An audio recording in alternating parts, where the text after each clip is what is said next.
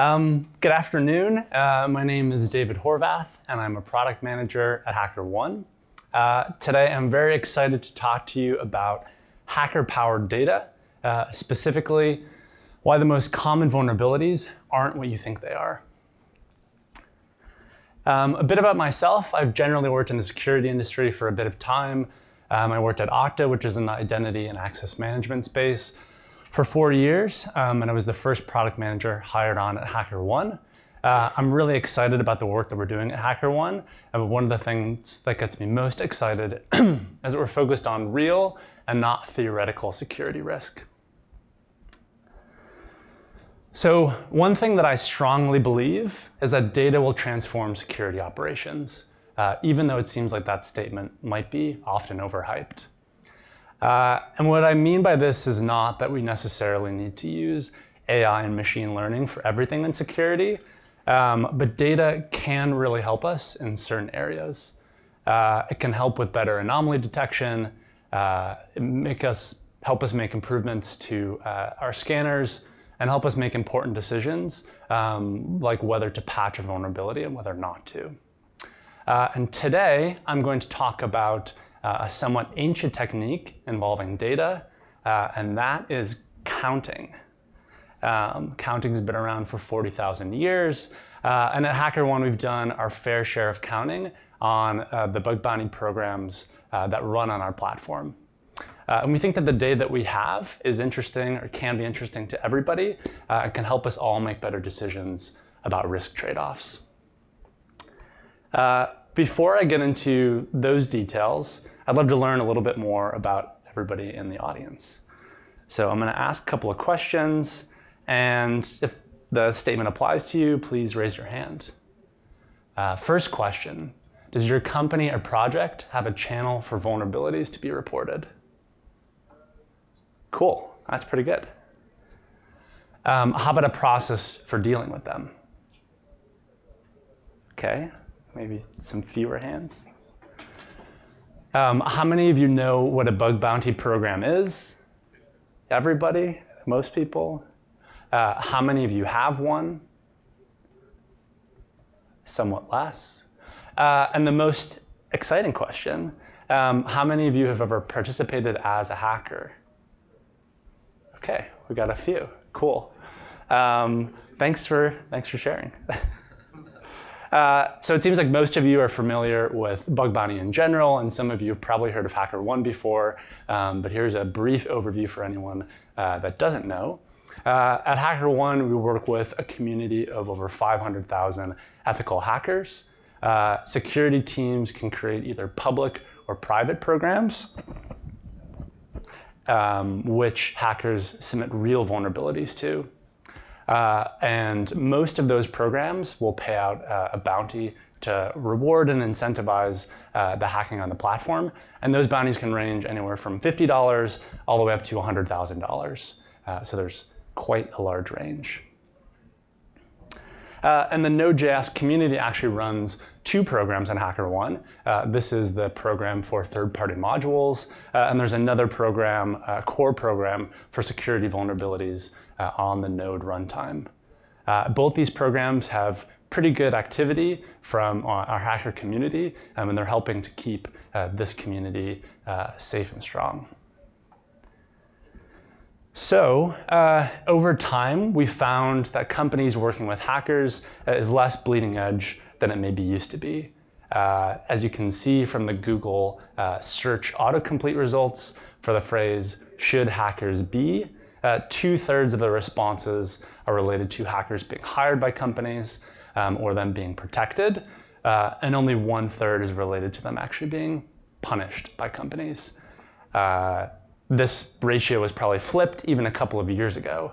Uh, and this is really exciting to us at HackerOne because it means uh, that it's becoming uh, best practice in most industries uh, to listen to hackers and to work directly with white hat hackers.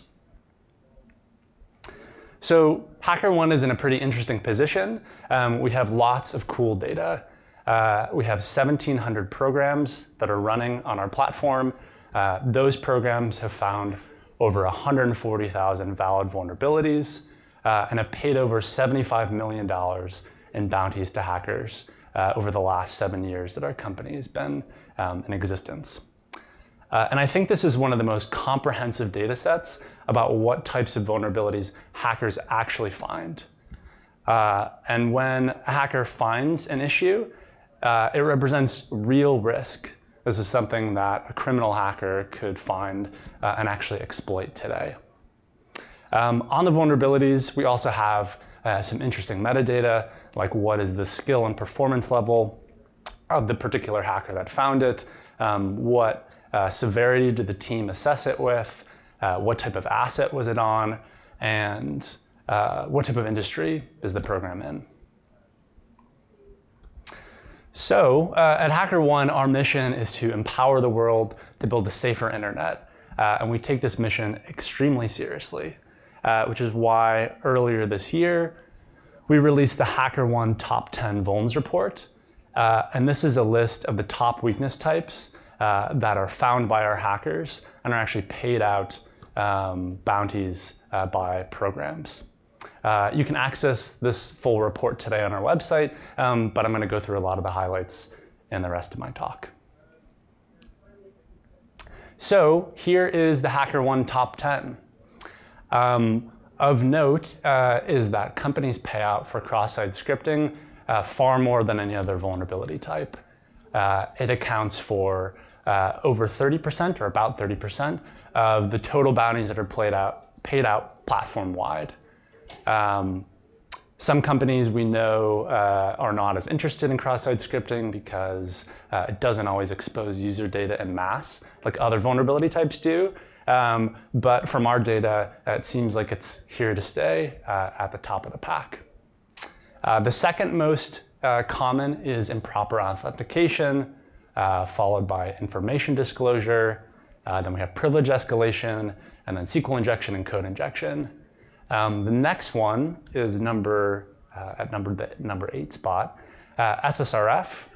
Um, we think that that's going to grow in the coming years as more and more companies um, move to the cloud. Uh, so in the rest of the talk, I'm going to dig a little bit deeper into what's behind our top 10 uh, and what implications that has for all of you. So uh, let's start by zooming into cross-site scripting or XSS. Uh, as you can see here, not all cross-site scripting uh, vulns are created equal. Uh, there are a couple different types. Uh, stored XSS uh, is either a higher critical severity, um, over 30, 33% of the time, whereas uh, generic cross-site scripting uh, is only uh, higher critical about 6% of the time. Uh, and accordingly, the bounties paid, the average bounty paid to those um, is pretty different. stored pays out $481 on average, while generic only pays out 288. Um, stored is harder to find, which means it only accounts for a smaller portion of the total um, cross-site scripting vulns found. I think it's about like 18% right now. So uh, why does this comparison between the different types of XSS matter? Um, I think it matters because if we look at how often a vulnerability type uh, is found, we can infer how easy it is for a hacker to discover it. Uh, and if we look at how highly a vulnerability type is actually paid out, um, we can, uh, that can imply how valuable a company sees that as being um, the tangible amount of business impact to an organization. Uh, and if we think that risk equals discoverability times impact, uh, then we have some real world um, bug data uh, that can help us uh, as we're making risk trade-offs. So uh, in a world where security teams are low bandwidth and also embrace risk, uh, we think this data can help prioritize um, whether companies need to patch a vuln um, or they can leave it, uh, or at a very minimum, what needs to be patched immediately um, and what might be able to wait a couple of days. So, uh, and another interesting thing that our platform tracks uh, are hackers' skills and performance over time. Uh, this is Pete Yaworski. Uh, he's one of the top hackers on our platform. uh, you can see he's got really good stats. Uh, he's a 93rd percentile signal hacker, which means he's in our top 10%. Um, and I was interested to look at uh, whether there's a difference in the types of vulnerabilities that our top hackers like Pete find, um, and whether there's uh, between sort of uh, less skilled, newer, newer hackers. Is there a difference? Um, and the answer is yes, there is. There are some differences. Uh, so this shows uh, the top bounties awarded, split up by our most skilled and least skilled hackers. Uh, you'll notice that for both of these groups, um, cross-site scripting pays out more bounties than any other vulnerability type. Um, I thought that was pretty interesting and surprising. Uh, the other thing to note here is that our most skilled hackers uh, tend to focus on um, pretty specialized and difficult to find vulnerabilities uh, like SSRF, uh, code injection, um, and IDOR. Uh, these typically pay out a um, lot higher bounties, um, but are more difficult to find, which makes a lot of sense. So um, another thing that our report looked at were differences uh, by industry. Uh, and you can see that there are some differences. Uh, for example, aviation and aerospace uh, as a percentage sees three times uh, more SQL injections than some of the other industries shown. Um, but the general trend here is that um, we see fewer and fewer differences over time between these industries. Uh, over time, aviation and aerospace, and probably like travel and hospitality um, look more and more like the profile for computer software. Um, and we believe this is because the world we're living in now is effectively that most companies are software companies, uh, or at least um, we have core software parts of our products and offerings uh, that make us vulnerable in very similar ways. So um, I also looked at some trends too. Um, what is the growth or decline in weakness types uh, over time? And we started tracking this in 2017. Um, before that, our data was not as great. Um, so on the, the downtrend side are vulnerability types like violation of secure design uh, and CSRF. Um, but probably more interestingly uh, is that our top two vulnerability types uh, cross-site scripting and information disclosure, um, those have still been on the rise the last couple of years. Um, but the highest growth uh, vuln types uh, are business logic errors, uh, IDOR, uh, SSRF, um, and code injection. And what these all have in common is either they're associated with companies moving to the cloud, um, uh, and they're also things that humans are really good at finding and scanners are not good at finding. So uh, I've talked for a bit of time, uh, and you might have noticed that I haven't mentioned uh, the most famous and popular uh, weakness framework, which is the OWASP Top 10. Uh, I assume most of you have heard about the OWASP Top 10 and are maybe fairly familiar with it. Uh, and right now, it's sort of the security community's uh, only option. Uh, and many people, sort of for better or for worse, uh, consider it the list of weaknesses. Um, but there are like a lot of reasons for a list of things. Uh, and if you'll humor me for a couple of minutes, um, I'd like to talk about music. So, uh, there's a very big uh, difference between an editorial list of the most popular or the best musical artists of the year uh, and the most streamed artist on Spotify. Uh, for example, at the bottom left, uh, you have Kendrick Lamar. And Kendrick Lamar received eight Grammy nominations in 2019, uh, more than any other artist, uh, but he was nowhere near the top of the Spotify streaming charts. On the other end of the spectrum, uh, Ariana Grande was the most streamed female artist in 2019 on Spotify, um, but sadly, to some, uh, myself included, uh, she only received two Grammy nominations, both of which I don't think she won for. But you'll see a similarity uh, between these two lists, uh, and that is uh, Canadian and former Degrassi star Drake Um, so you could say that Drake is kind of like the cross-site scripting um, of music. Uh, he's both highly acclaimed uh, and highly popular, uh, just like cross-site scripting is popular among the most skilled and least skilled hackers on our platform. Um, I guess what I'm trying to say with this uh, comparison, attempt at a comparison, uh, is that the OWASP Top 10 uh, is an editorial list. Uh, and there are lots of good reasons, sometimes, for an editorial list. Uh, but the HackerOne Top 10 is based off of what we actually see in the real world, which makes it a little bit more akin to the top of the Spotify streaming charts. So uh, here's a comparison between uh, our two lists. You will see a lot of similarities. Um, one major difference is the relative position of cross-site scripting. So at the top of our list, kind of middle of the pack on the OWASP side.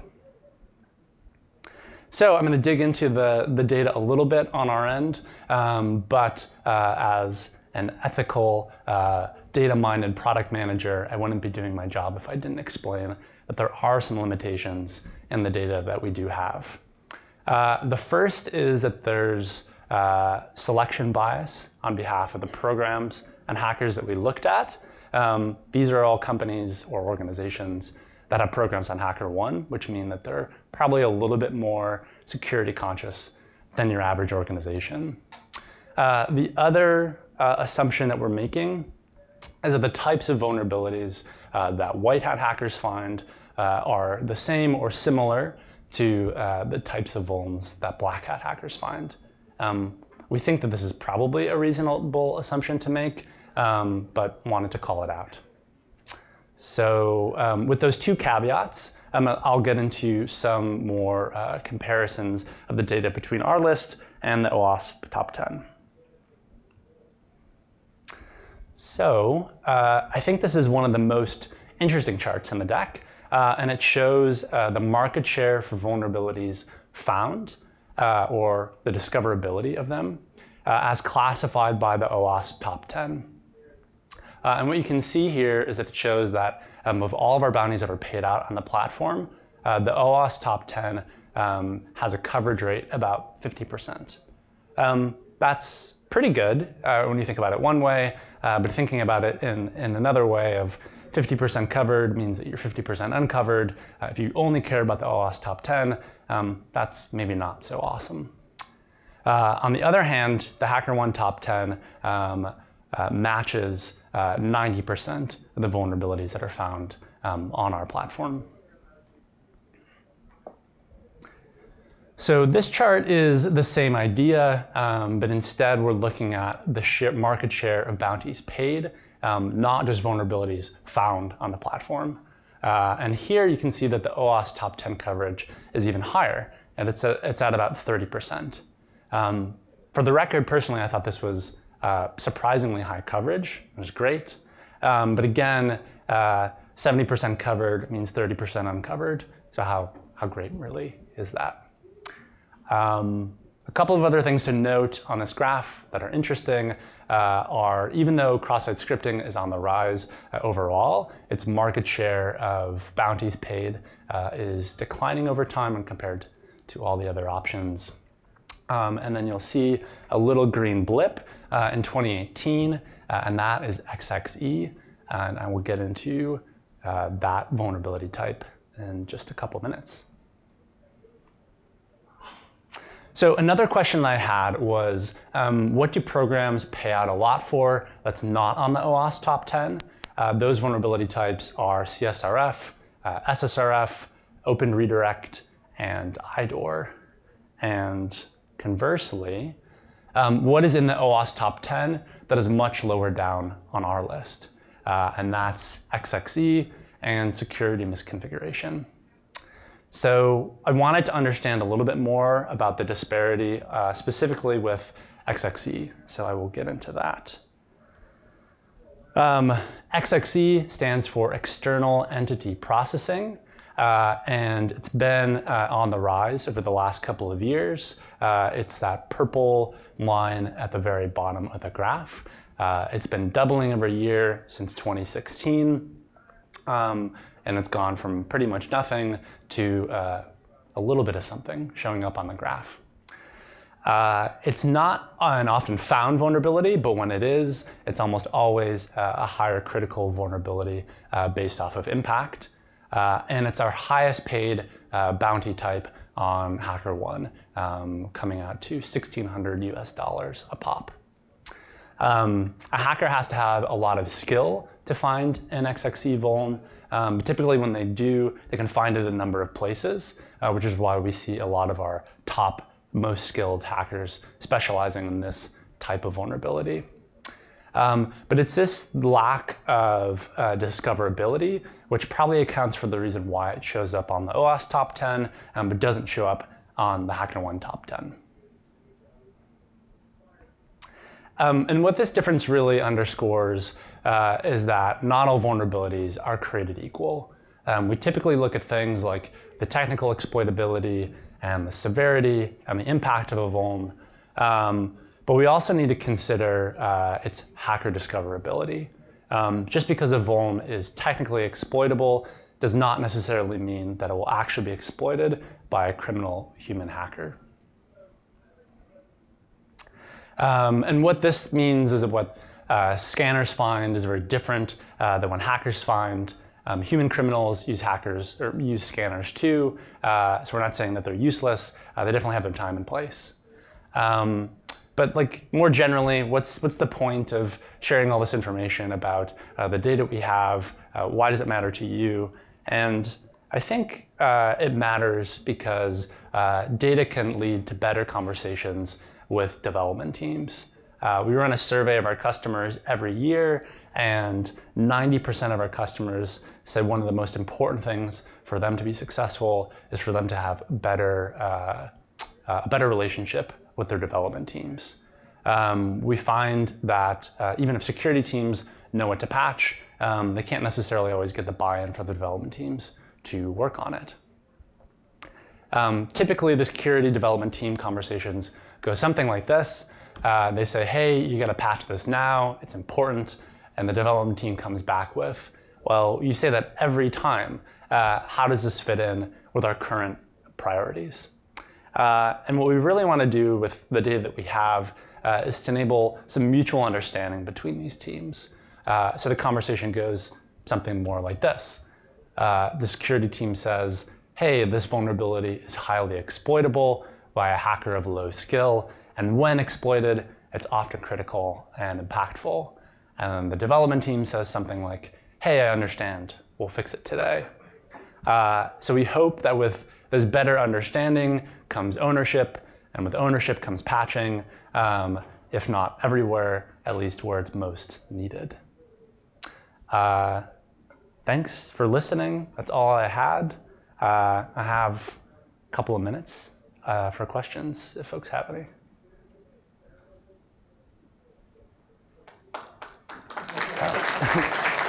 Thanks.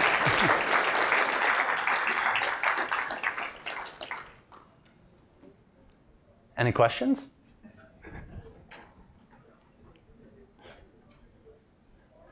The folks that are the folks that are hackers, do you have anything to?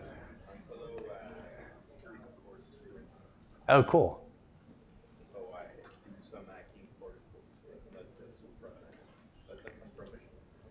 Got it well, when you're done with your course, check us out. um, yeah. So you said you wanted to change the conversation to be, like I understand this is a vulnerability that an entry level hacker would do. Is that exposed to you? How do we have that conversation?